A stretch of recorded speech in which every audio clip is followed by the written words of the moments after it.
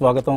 శ్రీరస్తు శుభమస్తు అంటూ తెలంగాణలో కూడా మద్యం వ్యాపారం మరి కొద్దిసేపట్లో ప్రారంభం కాబోతుంది. ఒక గంటన్నర వ్యవధిలో కొబ్బరికాయలు కొట్టి మరి మద్యం వ్యాపారాన్ని మళ్ళీ ప్రారంభించేందుకు రంగం సిద్ధం చేసుకుంటున్నారు. నేను వచ్చే దారిలో చూశాను.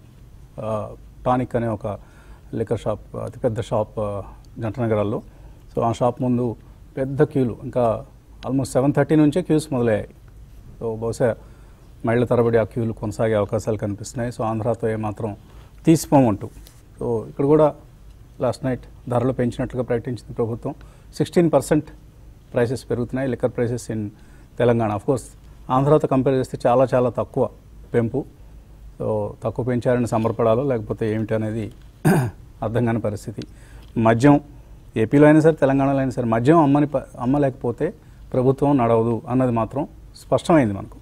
ఎందుకంటే మనం ఒకసారి ప్రభుత్వాల ఆదాయ వనరులు కనుక గమనిస్తే కేంద్రమైన రాష్ట్రమైన స్టేట్స్కి sixty two percent revenue own taxes నుంచి వస్తుంది. మిగతా థర్టీ ఎయిట్ పర్సెంట్ సెంట్రల్ నుంచి ఇన్కమ్ ట్యాక్స్లు అవి ఇవి కలెక్ట్ చేస్తారు కదా మన దగ్గర జిఎస్టీ.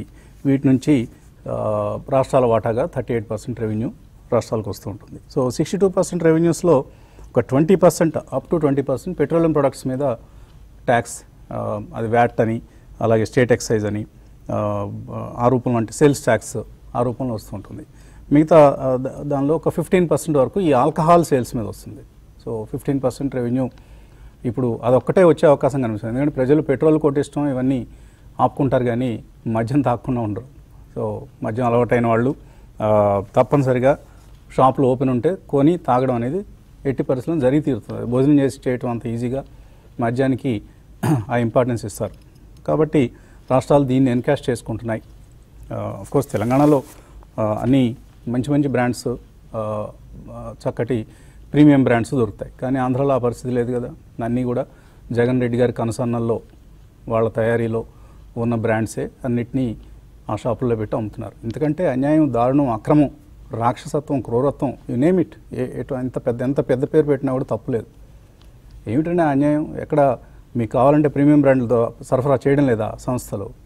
ఈ చెత్త బ్రాండ్లు పెట్టి చీప్ లిక్కర్ అమ్మి డబ్బులు వసూలు చేసుకొని ఆ డబ్బులతో రాష్ట్ర ప్రభుత్వాన్ని నడపడం ఇదంతా దోపిడీ అనమాట దారుణం రాక్షసత్వం. సో అటువంటి దుస్థితికి ప్రభుత్వాలు దిగజారితే ఇక ఎవరూ ఏం చేయగలిగిందేం లేదు. మళ్ళీ ఎలక్షన్స్ వచ్చినప్పుడు ఓటు వేయకుండా మానుకోవడం తప్ప ఐదేళ్ళు భరించాల్సిందే. సో అందుకనే ఎప్పుడు మనం ఓట్లు వేసేటప్పుడు ఎవరికి ఓటు వేస్తున్నాం అనేది జాగ్రత్తగా గమనించుకుని వేయాల్సిన అవసరం ఉంటుందని పదే పదే అనుకుంటూ ఉంటాం. సో డబ్బు లేని వాళ్ళు ఏం చేస్తారు? చీప్ లిక్కర్ కొనుక్కుంటారు. ఇంత ఇంత రేట్లు పెట్టి కొనలేరు కాబట్టి. మూడు వందల నాలుగు వందల రూపాయలకి ఫుల్ బాటిల్ వచ్చే కొనుక్కొని లేవరు మొత్తం అంతా పాడు చేసుకుంటారు. సో అటువంటి పరిస్థితి కక్కుర్తి రాష్ట్ర ప్రభుత్వాలకు తగదు. కేంద్రం మేము తక్కువ తక్కువ తినలేదు ఇప్పుడు. చమురు క్రూడ్ ప్రైసెస్ మీద తన కక్కుర్తి తీర్చుకుంటుంది. So ten rupees excise duty పెంచేశారు. Both petrol and diesel మీద. ఓవర్ నైట్ అఫ్ కోర్స్ మనకు బంకుల్లో రిటైల్ ప్రైస్ పెరగలేదు కానీ దీని ప్రభావం రిఫైనర్స్ మీద ఉంటుంది. ఇంకెక్కడ free pricing? There is no free pricing at all free pricing చేసేసాం కంప్లీట్లీ ఆయిల్ కంపెనీలకు ఇచ్చేసాం మార్కెట్ ఎకానమీకి వదిలేసాం అని చెప్పారు. కానీ ఎక్కడ జరుగుతోంది? So oil refiners have to suffer ఇవాళ మార్కెట్స్లో బహుశా ఆయిల్ రిఫైనింగ్ స్టాక్స్ అన్నీ కూడా హెవీ సెల్లింగ్ ప్రెషర్ ఉంటుంది.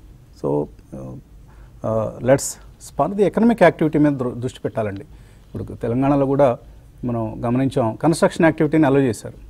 So uh, KCR government is doing extremely well in terms of managing the covid crisis excepting few decisions like రాత్రిపూట curfew ఎందుకో నాకు అర్థం కాదు అసలు. ఏంటి రాత్రిపూట మాత్రమే కరోనా వచ్చి మీద పడుతుందా? లేదు కదా. కరోనాకి రాత్రి పగలు తేడా లేదు. So any time it's there మనం వెళ్ళి దాన్ని వాటేసుకుంటే వచ్చి తీరుతుంది. అది పగలైనా రాత్రి అయినా కాబట్టి ఈ రాత్రిపూట కర్ఫ్యూ అనే దానికి మీనింగ్లెస్ అది.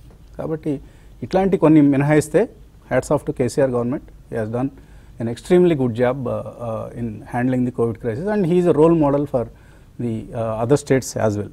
కానీ ఎకనామిక్ యాక్టివిటీని స్పార్చ్ చేయకపోతే చాలా చాలా సఫర్ అవుతాం. రాబోయే రోజుల్లో ఇక మన మార్కెట్స్లో కూడా మెడికల్ న్యూస్ అనేది ఇంక ఇక్కడ నుంచి ప్రాధాన్యం లేదు. ఎకానమిక్ న్యూస్ అనేది డామినేట్ చేయబోతుంది. ఇక్కడ నుంచి కూడా ట్యాక్సెస్ ఏంటి ఫిజికల్ డెఫిసిట్స్ ఏంటి అలాగే ఈ మారటోరియంస్ ఏంటి ఈఎంఐ మారటోరియంస్ ఏంటి అలాగే సెంట్రల్ బ్యాంక్స్ మనీ ప్రింటింగ్ ఏ విధంగా జరుగుతోంది అండ్ ఓపెక్ నేషన్స్ ఏం చేస్తున్నాయి సప్లై డిమాండ్ పరిస్థితి. ఇవి మాట్లాడుకోబోతున్నాం రాబోయే రోజుల్లో. ఇవే మార్కెట్స్ గమనం మీద ఆధా ప్రభావం చూపించే అంశాలు. ఈ ప్రభుత్వం ఏదో చేస్తుంది ఉద్ధరిస్తుంది ఎకానమీని అన్న ఉద్దేశం మనకు ఆశలు అంతగా కనపడటం లేదు. సో అందరం కూడా మన ప్రయత్నాలు మనం చేసుకుందాం. లెట్ ఇస్ ఆల్ బీ ఇక్కడ వస్తున్నాయి వార్తలు మన విజువల్స్ హైదరాబాద్ టానిక్ ఎదురుగా. సోషల్ డిస్టెన్సింగ్ ఫాలో అవుతున్నారు అట్లీస్ట్ ఆంధ్రాలో లా- లాగా అల్లకల్లోలం లేదు. సో ఎవరికి కేటాయించిన రౌండ్స్లో వాళ్ళు వృత్తాల్లో వాళ్ళు నిలబడి సోషల్ సోషల్ డిస్టెన్సింగ్ ఫాలో అవుతున్నారు. అందుకే అన్నాను నేను కేసీఆర్ గారి నాయకత్వం అనేది నిజంగా వర్ధిల్లాలి. సో ఆయన he is a super man in terms of his ruling so alcohol property tax అలాగే ఫ్యూయల్ సర్చార్జ్ ఇవన్నీ ప్రభుత్వానికి ఆదాయ వనరులు. సో ఇప్పుడు మనం మద్యం ద్వారా ప్రభుత్వాలు ఆదాయాన్ని సమకూర్చుకునే పరిస్థితికి రావటం అనేది చూస్తున్నాం. పెట్రోల్ డీజిల్ ప్రైసెస్ మీద రాష్ట్ర ప్రభుత్వం మళ్ళీ ఏదైనా ట్యాక్స్ పెంచుతుంది అనేది మనం చూడాలి. సో ఇవన్నీ మనకు రాబోయే రోజుల్లో మనం చూడబోతున్న కఠిన నిర్ణయాలు కఠోర నిర్ణయాలు వీటన్నిటికీ సిద్ధంగా ఉండాలనేది మాత్రమే మనం ఒక్కసారి జ్ఞాపకం చేసుకోవాల్సిన అంశం.